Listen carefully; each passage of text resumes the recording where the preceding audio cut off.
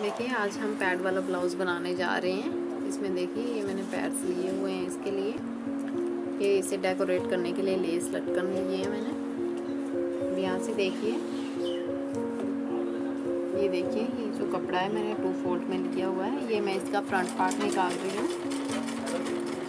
यहाँ से देखिए, इसकी जो टोटल लेंथ ली है मैंने, वो ली है सेवनटीन इंचज़ और जो बिथ ली है, वो है इलेवन एंड हाफ़ इंचज़ यहाँ से देखिए, यहाँ से हमने सिक्स इंचज़ इसका तीरा लिया है।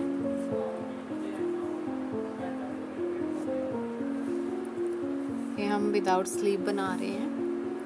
तो इसके लिए मैं जो इसका आर्मोल ले रही हूँ, वो सिक्स एंड हाफ़ इंच ले रही हूँ।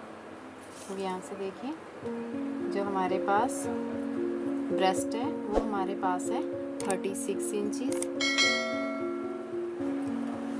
देखिए थर्टी सिक्स का फोर्थ पार्ट लेना है हमने नाइन इंच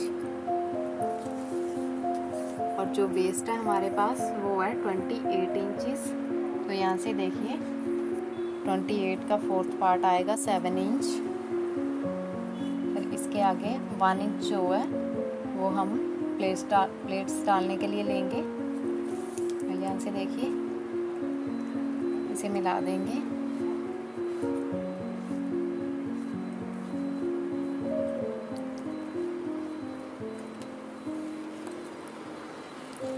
यहाँ से ये आर्मोल की शेप दे देंगे। अब यहाँ से देखिए, जो हमने प्लेट्स डालनी है, वो हम डाल रहे हैं इलेवन इंचज़ पे। देखिए, ऊपर से इलेवन इंच। और जो बिट में हमने लेना है, वो हमने लेना है three and half inch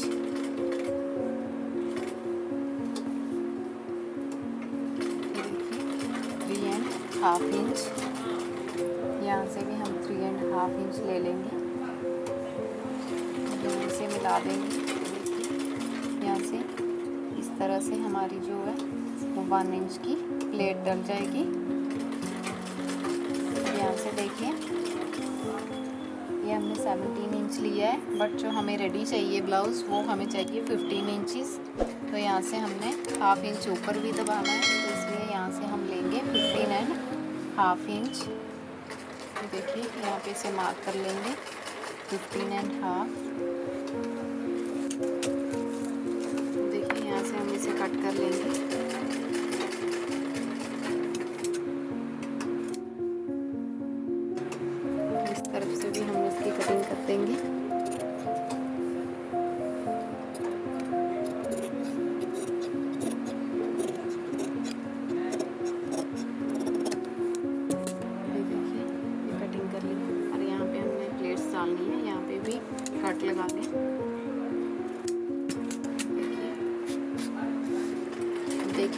pad हमने एडजस्ट करना है। उसके लिए ये जो ड्राफ्ट लगाया है हमने यहाँ पे प्लेट्स का, वो सेम आपको लाइनिंग पे भी लगाना है।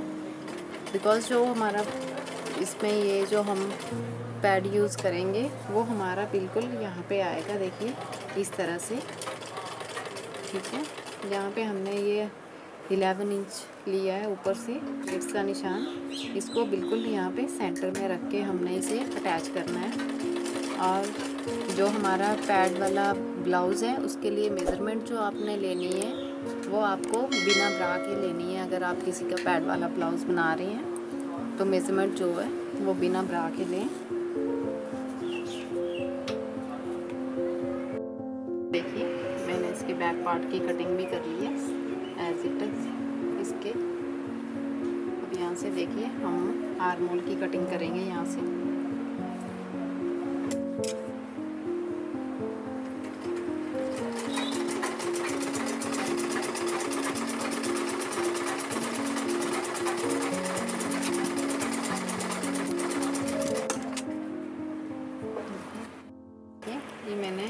फ्रंट पार्ट के लिए गले की कटिंग कर ली है। अब देखिए, ये जो इसका बैक पार्ट है, उसके लिए भी मैं इसका बोट नेक बना रही हूँ। तो देखिए यहाँ से ये जो मैंने लिया है, ये थ्री इंच लिया है और यहाँ से हमारा सिलाई में आधा इंच आ जाएगा। तो ये थ्री एंड हाफ़ इंच आ जाएगा हमारा इस तरफ़ से। इसकी भी मैंने थ्री एंड हाफ़ इंच ही कटिंग की है।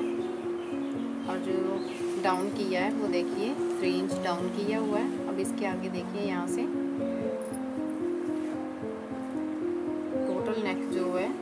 वो हमें टेन इंच डीप चाहिए।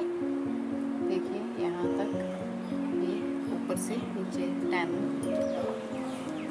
और जो बिट है हमारे पास, वो यहाँ से हम कम करेंगे।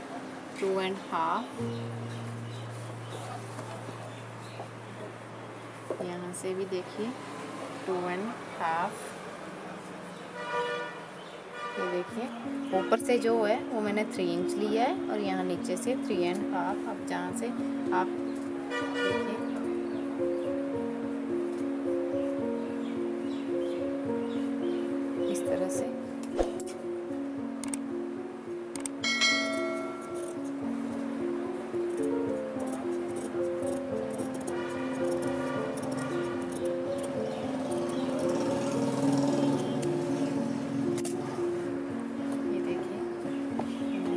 बैक पार्ट की नेक की कटिंग कर ली है।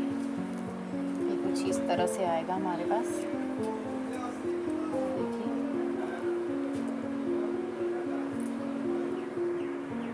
देखिए। अब ये देखिए, ये मैंने इसके लिए जो लाइनिंग है, वो कट कर ली है।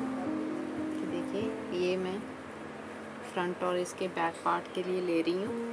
यहाँ से देखिए फ्रंट और बैक पार्ट के लिए। और ये जो एक सिंगल ले रही हूँ इसमें मैंने पैड अटैच करना है। ये मैंने सिल्क की लाइनिंग ली हुई है। आप चाहें अगर आपके पास जो फैब्रिक है वो अच्छा है तो उसके लिए आप सिंगल लाइनिंग में भी पैड अटैच करके इसके साथ जोड़ सकते हैं। बट ये ब्रॉकेट का फैब्रिक है और इसकी जो धागे निकल रही हैं इसलिए मैंने इसको डबल लेयर लगानी है। एक फुट पहले यहाँ पे और इसके ऊपर हमने एक पैड्स वाली लेयर लगा देनी है। अब यहाँ से देखिए। इस लाइनिंग पे जो है, वो मैंने पैड अटैच करने हैं, इसलिए मैं यहाँ पे प्लेट्स की मार्किंग करूँगी। यहाँ से देखिए, हमने 11 इंचेस पे जो है प्लेट्स डालनी है। और जो बेट में लेना है, वो लेना है थ्री एंड हाफ़ इंच तरह से। यहाँ से भी थ्री एंड हाफ़ इंच जो पैड आएगा हमारा, वो आएगा इस तरह से। देखिए, इस लाइनिंग के ऊपर आएगा। तो चलिए, हम इसे बनाना स्टार्ट करते हैं।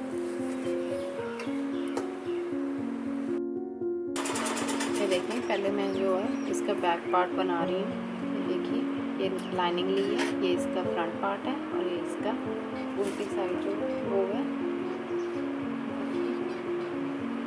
अब यहाँ से देखें, जिस तरह से हमने ये नेक की शेप दी हुई है, उसी तरह से हम इसे सिलाई लगा देंगे यहाँ पे। ये जो मैंने डोरी ली हुई है, इसको हमने इस तरह से बीच में रखना है।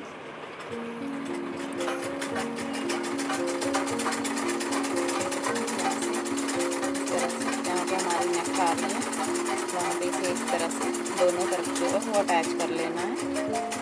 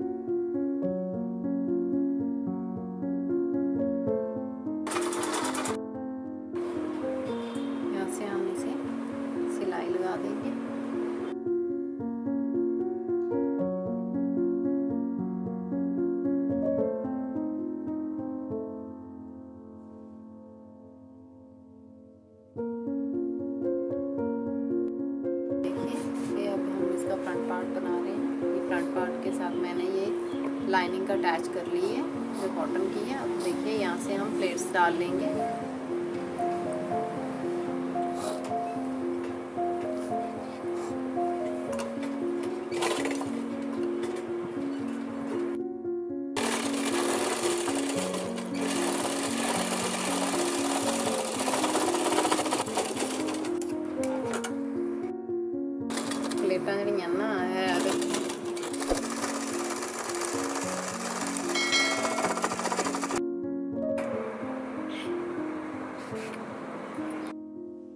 जो मैंने सिल्क की लाइनिंग ली थी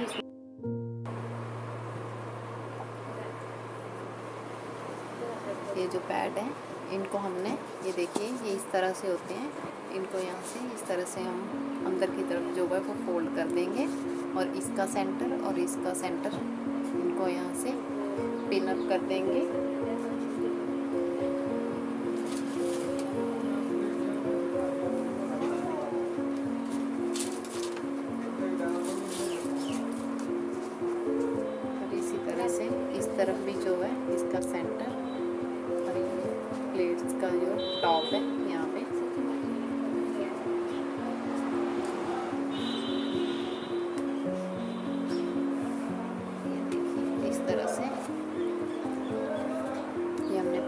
दिया है। अब देखिए, यहाँ से हम इसके साइड में इस तरह से सिलाई लगाएँगे।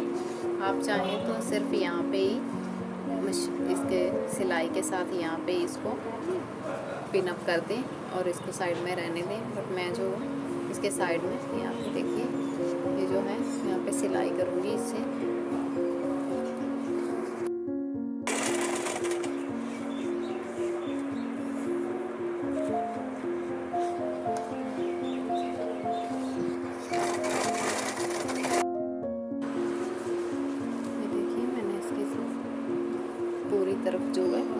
लगा दी पिन निकाल दी। देखिए, ये हमारे, ये साइड आ रही है यहाँ से इसे अब हम अंदर की तरफ़ कर देंगे। देखिए, इस तरह से। देखिए, और इसी तरह से हम इसे भी बना देंगे, और जो हमारा ब्लाउज़ आएगा, वो इस तरह से आएगा इसके ऊपर ये देखिए ये इस तरह से शेप आएगी हमारे पास। ये देखिए, ये हमने इसके, ये जो पैड्स हैं, वो अटैच कर लिए अब देखिए, हम इनको इसी तरह से रहने देंगे। और ये जो हमने ब्लाउज़ का फैब्रिक लिया हुआ है, इसको इस तरह से इसके ऊपर रखेंगे।